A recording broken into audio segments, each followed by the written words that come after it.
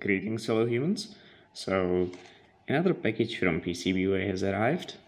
Uh, this should be a new revision of this board. This is actually not from PCBWay, this is from Seeed Studio and in this video I'll be comparing the quality of the two boards just to see how different fabs compare. So let's open this package.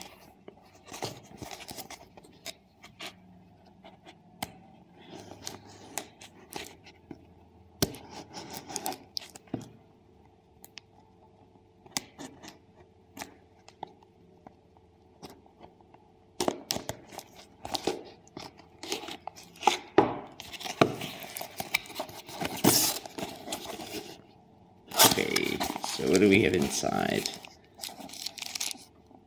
Okay, so unlike last time, they are just loosely packed in this this sort of pouch. So last time I received them in a vacuum sealed uh, wrap with bubble wrap on one side, but that's okay, it's not a big deal. So let's have a look.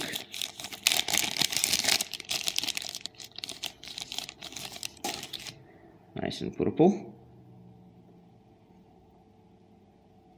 I really like the solder mask. It's it's not bad at all. It's, if this would focus.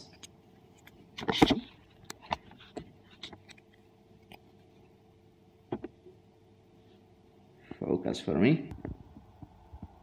So as you can see, drills are not quite exactly in the middle. For my purposes, that's, that's very sufficient.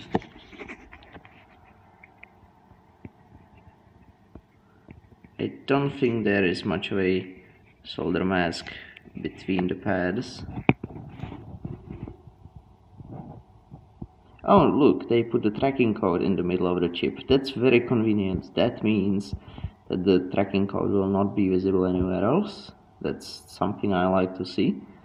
Because I'll show you with the board from Seeed uh, Studio, the Seeed Fusion, they just put the tracking codes at the bottom uh, of my bottom side. So I was not quite impressed with that, but then again I didn't tell them otherwise, so it's really to be expected. Yeah. Well, I like the alignment of the of the top face. Now let's see what the bottom face looks like. Oh no, that actually looks very good as well. That is not bad at all. It is a little bit off, like yes, of course this wouldn't be IPC class 3 I would need to pay extra for that like you can see that one little via in the middle being pretty misaligned with its drill but it's okay. It's not a big deal. Electrically I think this will be perfectly fine. And here is the QR code which by the way will not work because it's inverted in colors and mirrored in symmetry so do violations of the specifications. If it would be just mm, just inverted then most readers can deal with that but if it's mirror image then there is very little chance that that will actually work. Oh well it's fixed in yet another revision which I'll maybe print depending on how this one will work yeah. Well anyway let's have a look at the at the other boards at the Seeed Studio boards because they were a bit more expensive especially the shipping. Yeah also my vias are covered here but that's you can still see how they are drilled. So again no solder mask between pads that's okay. I mean, if you have a solder paste, then it will stick to the copper anyway. And if you solder by hand, then that's should be fine as well. As long as you use plenty of flux, the surface tension should just stick to the pad and leave the other pads alone. But well, bridges can always be always be fixed. Alright, and for the bottom side, here you can see the tracking number is just here. That's I found that a bit rude, but I didn't tell them otherwise, so it's okay. And on the bottom side, you can see maybe you can see through the through the solder mask that the drills are again not perfectly centered with their vias but the ring is unbroken so so electrically it will work just fine. Yep well so that's that's pretty much all for this board. Yeah. The surface finish seems nice. It's the immersion gold option which I believe is just ENIG finish. Yeah oh well this will be fun to solder. But that's probably for different video because that will be a very challenging task with just hand soldering and you know with soldering iron and, and full of lead free solder. Oh well that will be fun so oh yeah also one thing I want to show was this little cutout for my USB port. That looks pretty clean as well. Yeah that's very nicely routed. No sharp edges that I can see. In fact I can't even see where it was snapped. Like it's it's very smooth overall like there is not a single blemish. For example on these boards on the on the Seeed boards you can see a little tab in here where it was broken from the panel but nothing like that on the arrow board. It's just perfectly routed all the way around. At least no blemish I can see oh well yep so that's probably all for this video I might show the result when I'm done with soldering what is that thing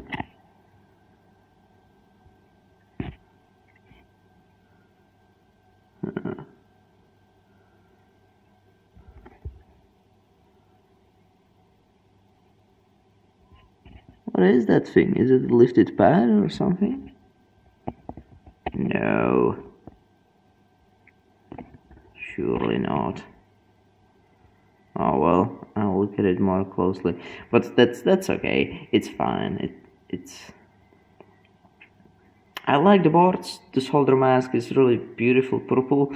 It's yeah, I know that purple is sort of the trademark, not trademark, but like its signature solder mask for one other prototype board manufacturer over in America, but oh well, that's that's not a big deal.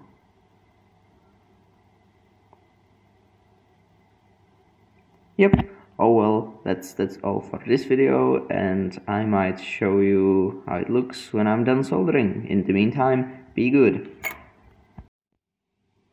Hi, so after I finished that video, I realized I still want to talk about few more things, so here they are condensed. I went through all 10 boards that I received, and actually 11 now that I'm counting them. Huh. Oh well, that's Mm, I'm not complaining, that's nice, but uh, I sorted them into three groups, the perfect ones, the ones with slight defects, and then the ones which I don't think will be particularly useful because of the defects they have on them. So let me quickly go through them. These boards, uh, I mentioned previously I couldn't find the routing tab, but that is actually not the case. I was able it's just a slightly different place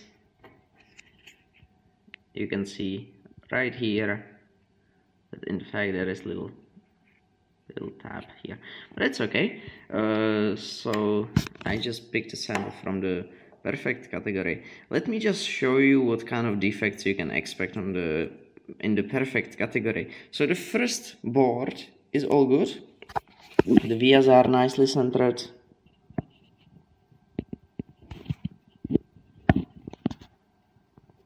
It will focus for me yep no problem there. The pads are clean. Of course I'll need to take uh, some isopropyl alcohol and clean it before any actual soldering but that's that's pretty good. No centering issues no nothing. Uh, let me just show you something I found on the other side of this board. There is some pretty bad case of silk screen smearing. I'm not sure what happened there, but I don't think that was supposed to happen. Oh well, it's not like it will influence the functionality of this board, it just doesn't look too pretty, but this is the back side anyway, no one will see it, so that's fine. Now let's move on to the second category. Uh, all of these in the second category have some uh, drill centering issues so you can see the drills are not perfectly aligned with their vias like I've got a feeling in some cases it even gets out of the via but the insides all seem to be plated anyway so it's not like there is no electrical connection. It's just you wouldn't want this on a like high reliability high performance board but for this little project it's not a big deal. Yeah it's just little cosmetic imperfection but oh well. For such low price the, these sort of defects are really to be expected it's fine. So one more thing I wanted to show with this particular board. There's this little crater in here. I'm not sure if you can see but like right next to the via over there. Not sure what it is. I'm suspecting it's just the solder mask doing something it's not supposed to do. I'm hoping it's not that we are shorting to the ground because that would be bad but uh, well I will see what happens. Allegedly it's all electrically tested so that should not be a short but it just doesn't look too pretty. But other than that it's fine. It's like these boards are fine to use. So that was the second category. And now for the third and biggest one.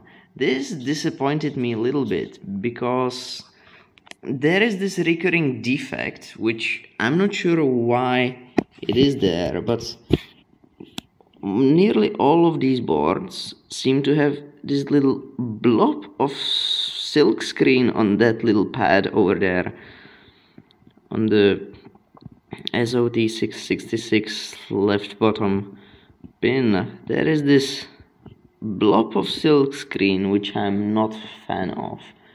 Uh, this this other board you can see it has goop all over the place and on that little pad. I'm not sure why just that little pad which gets uh, silk screen all over it but seems to be the case with most of these boards in the failed category you can see a bit of silk screen gets to this pad as well yeah and one thing I wanted to mention was also the poor centering like this centering is not really that cool, good at all. Uh, then the next board. Again, we can see this goop on the pad. I'm not sure what's what's up with that, like why that is happening, but all of these boards seem to suffer from this issue. And also the centering isn't really all that great. Now next board, again we have this same goop on this same pad not sure what that is didn't notice that before I was probably some gunk yeah I definitely would want to clean the whole board with isopropyl alcohol before using it because it's not really all that clean but that's that's okay. Yeah this centering seems fine but if you look at the other side you notice that it's in fact not fine at all. But in terms of centering it's not as bad as the last board because look what I found in the last board. So it seems to me what happened when they made this slightly larger hole when they drilled it bit of debris got inside of the of the whole diameter. And then only then they plated it. So this bit of debris actually got plated as well. I'm not sure if you can see it very well. That bit of stuff is actually plated in gold so that that is finished. That is is part of the finished hole and yet it looks like this. I can't imagine how stable solder joint on that would be how electrically reliable that would be because this is the battery power line and it's surrounded by a ground fill so you definitely do not want these two to touch to short because if that happens you short your battery and that's that's really bad news. You don't want that to ever happen. Yeah. Well other than that uh, that's there is not much else to say. Like I got one board extra and only two of the boards ended up being without any major defects and blemishes so I mean, I only really needed two, one for prototyping and one for actual production, because then uh, the rest, I already came up with a new revision, so I don't need this uh, these particular boards. So, so I'm fine with such such big losses, but like only in this particular case, not in general. Like I'm not happy about such wastage. That that's not that's not good. But oh well, it's five dollars spent per 10 boards so really if if i would pay five dollars for two boards that's like two dollars 50 per board and that's still a really good price so i'm not holding this against pcbway it's just slightly disappointing uh, but again i'm sure all of these boards would work too and if I would really try, I could perhaps make uh, uh, not this one. This one had a bad uh, drill, but maybe this one I could rely on.